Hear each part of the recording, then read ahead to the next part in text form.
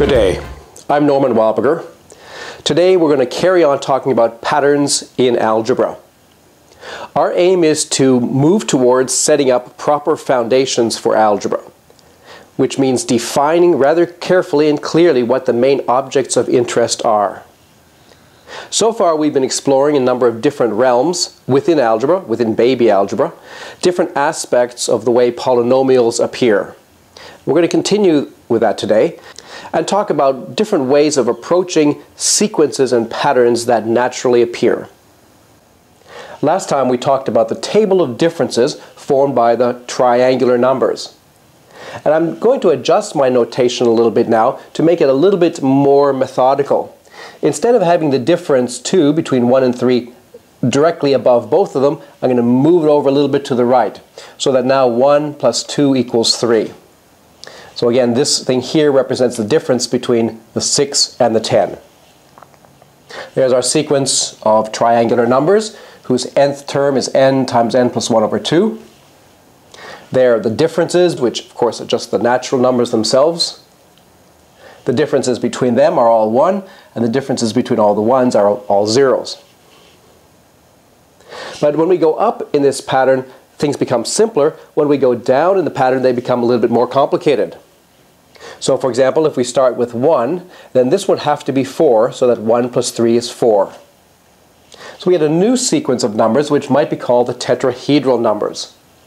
And in this sequence, the 20 represents the sum 1 plus 3 plus 6 plus 10. So each one of these numbers is the sum of the first n triangular numbers. And here's the geometrical interpretation of the tetrahedral numbers.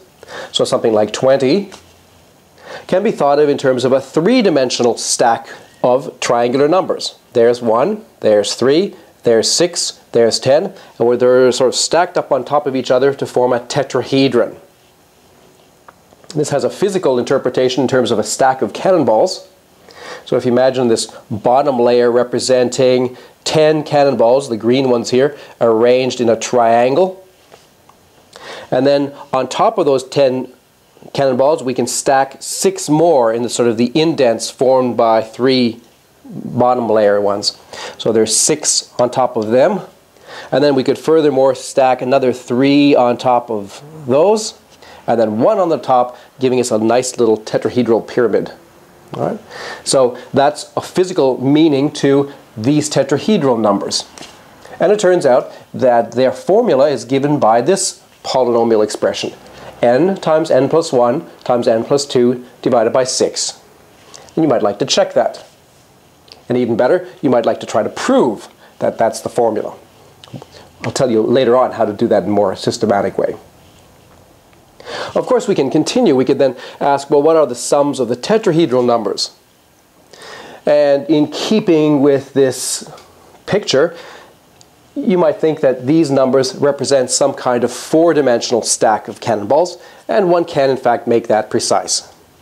So as we carry on down in this pattern, we are in fact investigating higher dimensional analogs of tetrahedrons or triangles. So it's a rather interesting pattern, and it all comes about essentially built up from the natural numbers.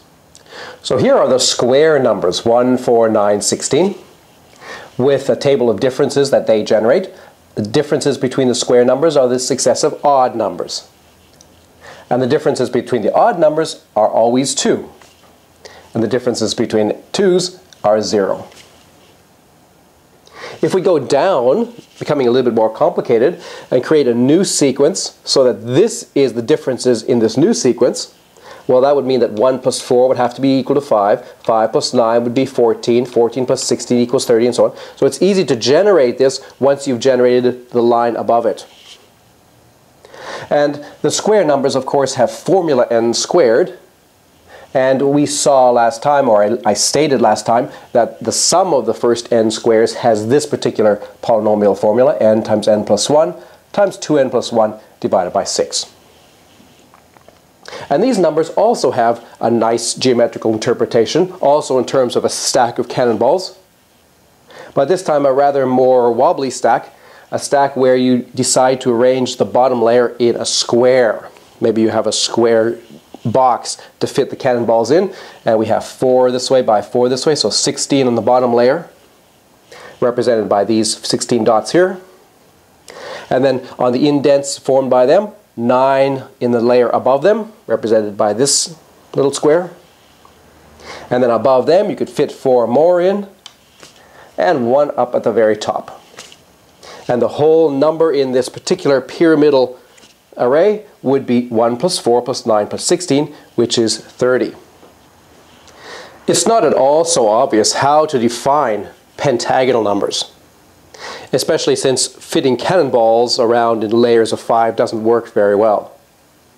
But here is one natural approach that's been studied for a long time. We start with a pentagon with one cannonball right in the middle.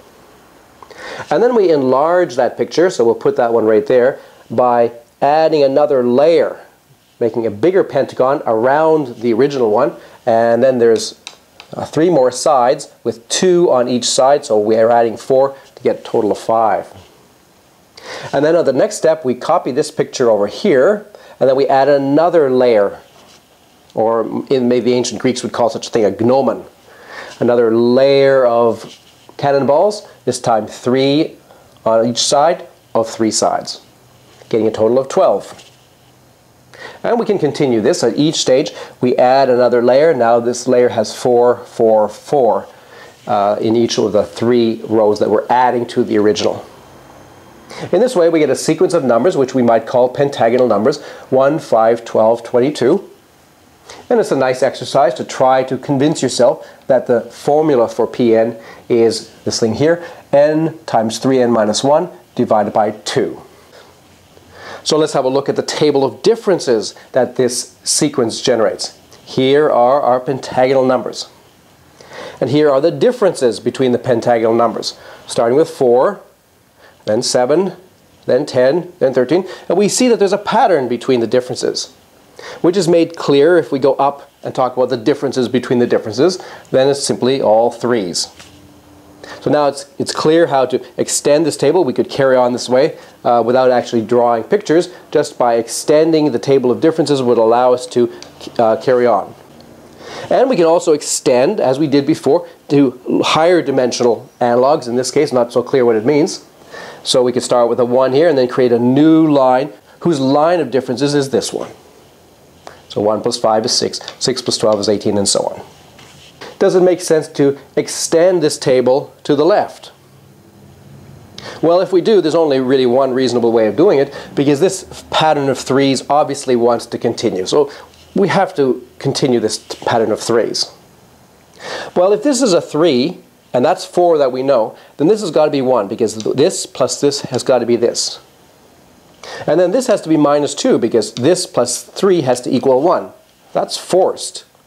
And then that's forced and that's forced and we're getting uh, going down by 3 here. Now what happens to the pentagonal numbers themselves when we extend them? Here there's a 1, here there's a 1, there must be a 0 here. And 2 plus minus 2 is 0, that's got to be 2. That's got to be 7 in order for 7 plus minus 5 to equal 2. That's got to be 15. That's got to be 26. And now it seems as if we're getting another second series of pentagonal numbers, which are not, at least at first, recognizable in a geometrical form.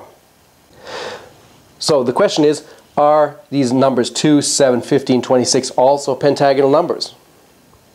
And if so, what do they mean?